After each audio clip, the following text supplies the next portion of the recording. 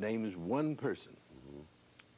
Uh, all our common names, they're universals. Uh, our concepts are all universal in character. Now, the, the, the point about the universal is it cannot be in matter. What makes, what, let me take for a moment two almost, almost perfectly identical uh, ball bearings, indistinguishable. Mm -hmm. Why do you say they're two? Because one occupies this space, one occupies that. If they occupied the same space, there'd be one, wouldn't they? Mm-hmm. Because mm -hmm. every respect identical. What makes them two is that other is, is matter. Matter can't two, two, two units of matter can't be in the same place. So matter, the Middle Ages were very, were very smart when they said matter is the principle of individuation. Now, if we thought with our brains, we could only do this as we see, we see with our eyes, we imagine with our, you can't, for example, you and I can't imagine a triangle.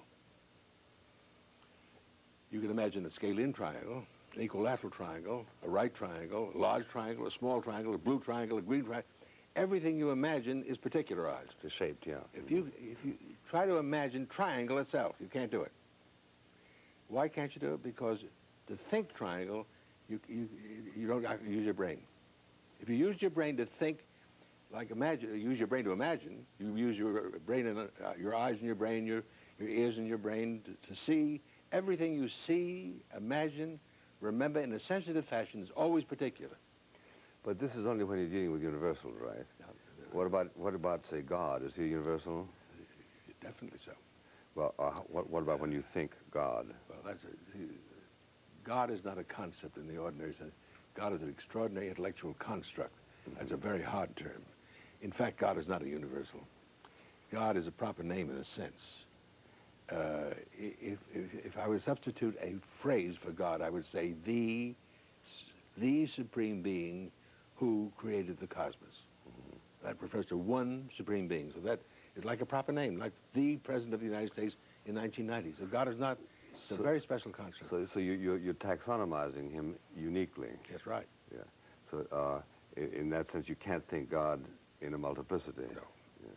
But, well, but the whole idea of monotheism. No, we talk about divinities. Yes. That's yeah. Divinity is a universal term. Yeah.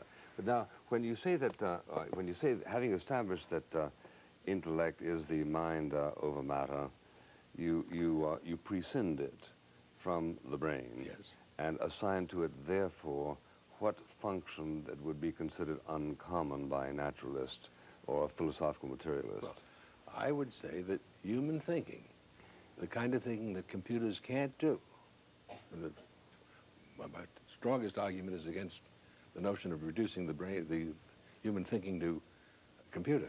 Mm -hmm. uh, the, the, you know, the, the um, AI, the artificial intelligence boys think they're going to produce, think, they still haven't done it, but they think the future holds the promise of a machine that will be indistinguishable in performance from a human being. Yeah, electronic thought. They that's right. Yeah. I, I, think that's impossible because, the, see, if the brain were the organ of thought, they could do it. Because I think they can replicate the brain in, a, in another material organ. Mm -hmm. But if the intellect and not the brain is the organ of thought, they will not be able to produce a machine that can do specifically human thinking. Let me make a point about that. Um, all logical thought is mechanical. They can produce machines that would be logical. But the wonderful thing about human thought is it's not logical. We, we can be logical, but all of our great leaps of... of, of, of acts of transcendence. Yeah, that's right.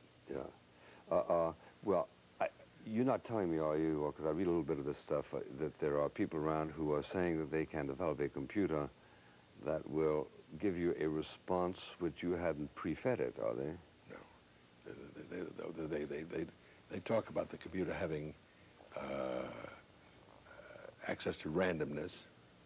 But uh, like the monkeys who type out Hamlet. Yeah, that's right. Mm -hmm. But uh, the way you can imagine this is, suppose you took an ocean voyage that lasted, let's say, two months, and you had a deck chair, uh, and someone was sitting next to you, and you, had, you, you met every morning for morning bouillon on, on the deck, and you talked to this fellow next to you every day for two hours.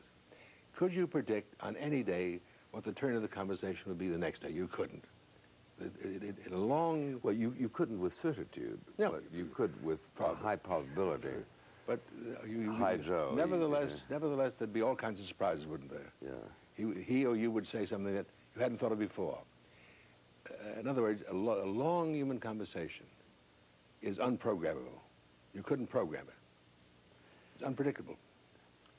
Uh, uh, you mean you couldn't program it in terms of logical succession, or you couldn't program it anyway? You couldn't couldn't program a computer to do it, for example. In other words, I can think of a lot of Democrats I could program. Yeah, I'm sure you could. but then, I, but uh, if there were a screen between you and this, the next fellow next to, next to you on the deck chair, Yeah. the question is, could you tell whether you were having this conversation with a machine or a human being? I- Yeah. I, think you always could. I think you always could tell whether the conversation was between you. By the way, suppose there were no voices involved. Everything was transmitted by printout. Mhm, You, you could ask any question you wanted and keep on asking them. Course of two months. I think you'd soon, uh, w- w- at the, if it ever happened, that you could say, I don't know, I, I, I really don't, 50-50, I can't tell whether it's a machine I'm talking to or a human being. I, I'd be wrong. I'd tear it all up. Right. But if, I think that will never happen. In other words, I think the indiscernibility of a machine from a human being is never going to happen. The machines will never function so that they will be indiscernible from human beings. And the reason for that is, that that's the importance of this thing, is the immateriality of the intellect. If the brain did the job, I'd be wrong. Oh, okay, let me, let, let me, let me just close down on this. Suppose uh, I were here, the naturalist, and I were to say to you, the, uh, the brain is, response, is, is um, competent to make uh, responses so copious that it is inconceivable that we could ever program it to reply to every contingent question you might ask it under the circumstances. Won't it always surprise you, even if it were simply the brain itself rather than uh, the intellect? But if it were the brain itself, that's the other side of the argument. In terms of what matter, what matter does, if it's the brain, you would have no universal concepts whatsoever. I'm saying the brain cannot be an organ which operates with universals because matter, I repeat now about the triangle. Why is it you can't imagine triangle as such? Why do any any picture Yeah. any picture you Yeah. call before your mind a triangle will be of some shape, size, and color? Yeah, there's a wonderful exchange in Huckleberry Finn between the uh, the old uh, uh, darky, the old Negro, Jim, who's illiterate, and um, I, either Huck or Tom Sawyer says to him, you know, in, in France, the word for cow is vache. and he says, well, how can that be? a cow is a cow. How can it be uh, other things? And, and uh, this was really an instruction in universals Mhm. to an illiterate, wasn't it? That's right. Uh, now, are you saying that um, uh, this would be an indication of the working of the intellect because he could Im- he could Im- imagine?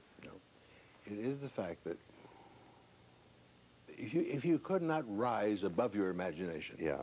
above, you could not think triangle. Mhm. You could imagine triangles at the end of time. They'd always be of some shape, size, and color. But uh, just just think of well, let, let, let- think of God for a moment. You can't imagine Is that God. constitutional? It's quite constitutional. And you can't, you, the, the re- reason why most people have trouble with God and have, th- I had great difficulty with, with in, in church, with people who think, think that heaven is a place, for example. Now, if God is, God is a purely spiritual being, God does not exist in any physical place whatsoever. Mhm.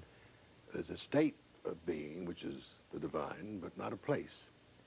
Um, and when you, you, you can only think, one of the reasons why the great Jewish theologian, Maimonides, and St. Thomas following the rabbi, uh, insisted upon negative theology is because you cannot positively think of God. You, you, you, people who imagine God, you imagine God, anthropomorphize God Mhm. As, as the artists do, of course. You have to think of God negatively, incorruptible, non-temporal, immaterial, immutable. Think of all those, all those negative words. And when you think of God positive, there are three positive things you can say about God. God lives, God knows, and God wills. God lives or God exists? Live, God exists is, Mm-hmm. whenever you say God exists, lives, wills, and knows, Mhm. you have to immediately add, but not as you and I li- exist, not as you and I live, not as you and I know, not as you and I will. You have to- That not comes in there, because if you don't do that, you're, you're saying that the word live is applied univocally, in the same sense to God and you.